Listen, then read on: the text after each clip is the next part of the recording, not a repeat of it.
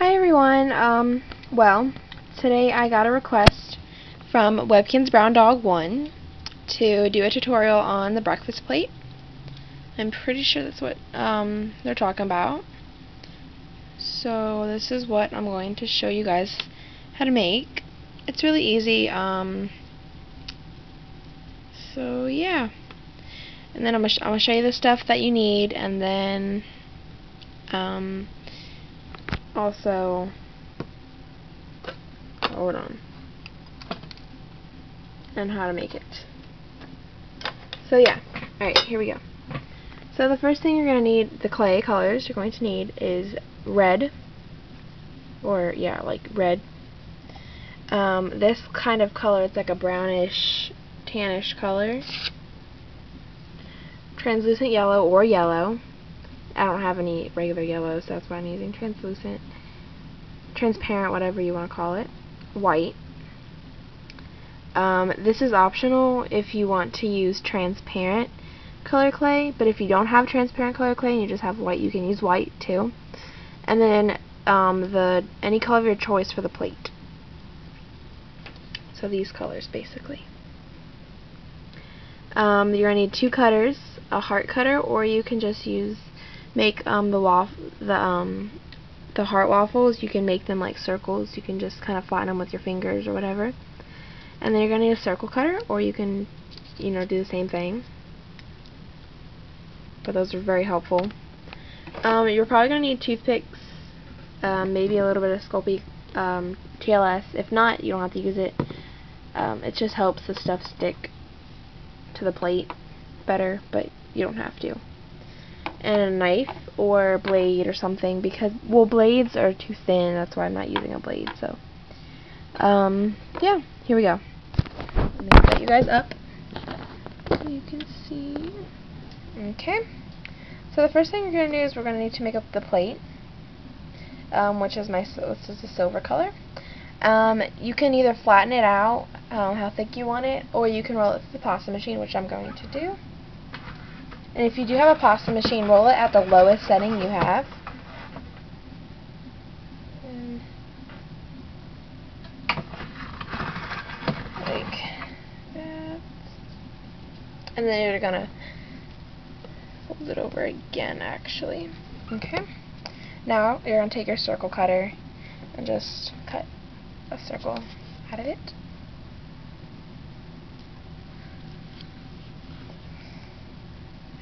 So. And there's extra clay. And then, uh, like, go around the edges and kind of make it smooth. And then there's your plate. Okay. Um, next we're going to make the waffles. You can either make two or three depending on how big your plate is or however you go by it. Doesn't really matter. So you're going to roll it through the pasta machine at uh, the lowest setting you have and then fold it over once more. And flatten it out a little bit. Right, next you're going to take your heart cutter or circle cutter or whatever you have and cut your three, two or three waffles out.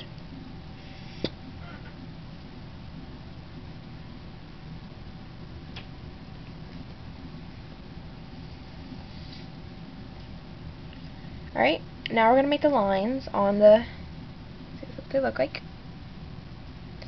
Now we're going to make the lines on the um, pancakes, or the waffles, sorry. Put that aside. And I'll show you guys how to do this. Hope you guys can see it. Okay, yeah. Okay. So you're just going to take your knife and then just make um, a pattern, square pattern on there. Like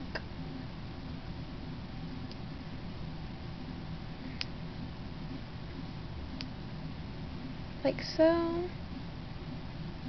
And Go across.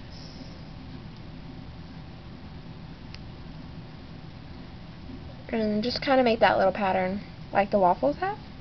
Or if you have like a waffle mold type thing, then you can do that.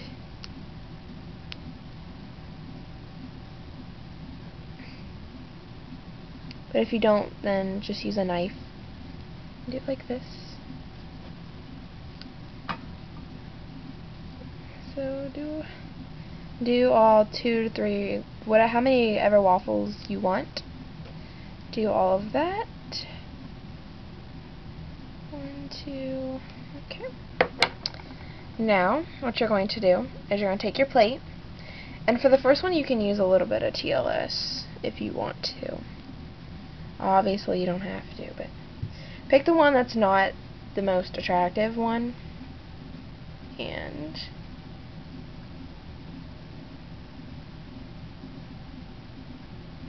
you can put a little TLS on it if you want to. And then just take it and position it onto your plate however you want. And then the rest of them should just go on like so.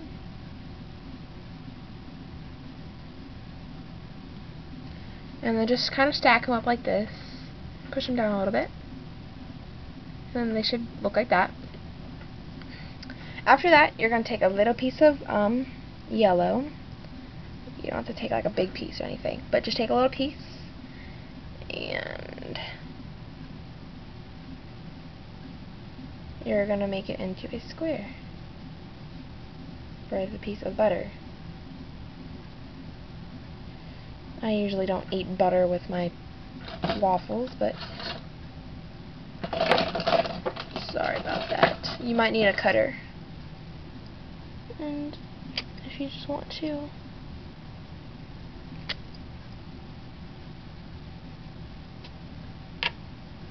sorry if you can't see it, but I'm just cutting the little piece of butter into a square shape.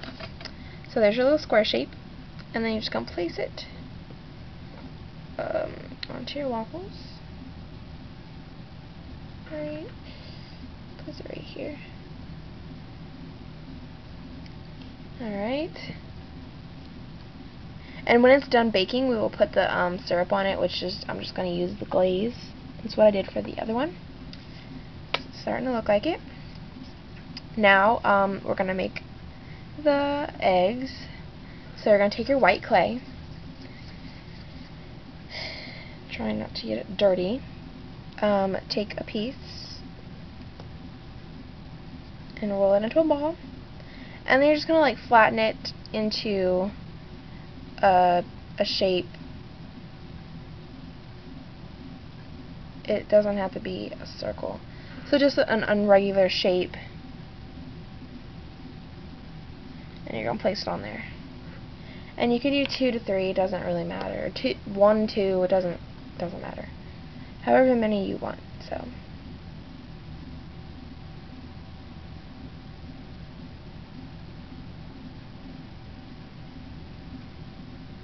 Okay. Like that. And then there's your two little egg yolk, or egg whites. And then you're going to take a little bit more of yellow. And you're going to make the egg, egg yolks. And those are easy. You just take the um, yellow circle and flatten it. And then you can place it anywhere on your egg. And do the same thing.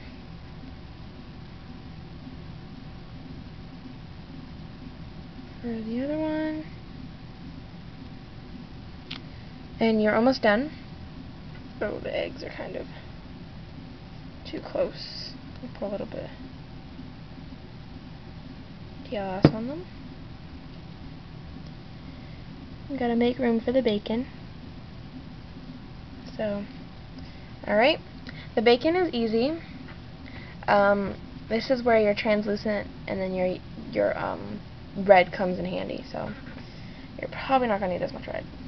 So you're going to take your transparent, um, translucent, whatever you want to call it, and you're going to roll it to the pasta machine at a really, at a thin setting, but not all the way thin setting. Like so. And then you're just going to cut out a strip your knife or blade, whatever you want to use, because knife is not working for me very well.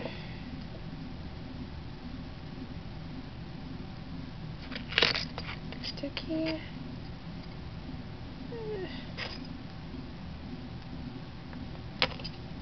And this took me a while to like get the last time I did it because the red has to be really like the red and the white have to be really small.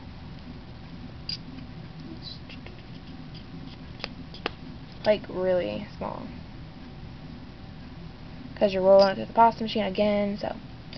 And then you're going to take some leftover transparent um, parent and then you're going to mix it in with the red because the red is going to need to look well I tried to make a piece of bacon. This is a piece of, a piece of bacon.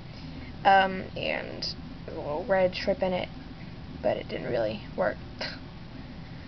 So so just mix those together until they blend. And when they after they blend you're going to mix them through the pasta machine. You're going to roll it through the pasta machine at the same setting you did the white. And now this is the tricky part. Try to make the red piece as thin as you can that fits and it fits right in the middle of um, the white. About that thick. Oops. Okay, about that thick and then place it. Alright. This is the hard part.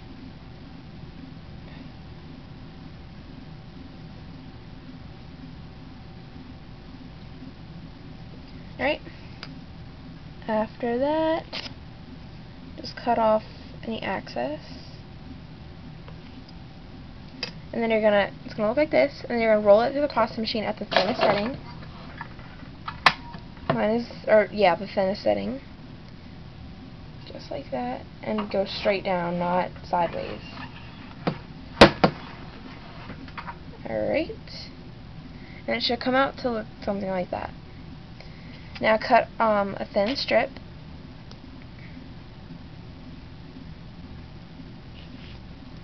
About that thick, or about that big. Doesn't really matter. Maybe a little bit thinner, actually, or a little bit smaller. And then you're going to crinkle up the edges. to make it look like a piece of bacon. And then you're going to make it like ruffles, so you just go up and down. It's kind of hard with a little piece of bacon like this.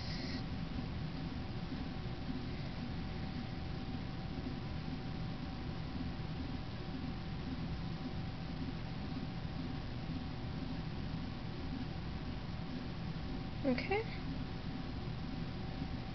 After that, you're just going to place your...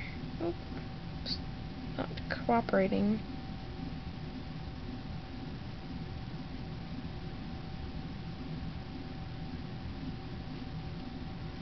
And then just take your piece of bacon and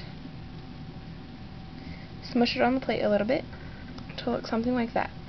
Okay, my bacon didn't really work for me, but that's okay. Um, and now you can either put you can either put an eye pin in it or whatever, but you can just bake the oven like that. So yeah, I hope you guys enjoyed. Thanks for watching. Please subscribe. Bye!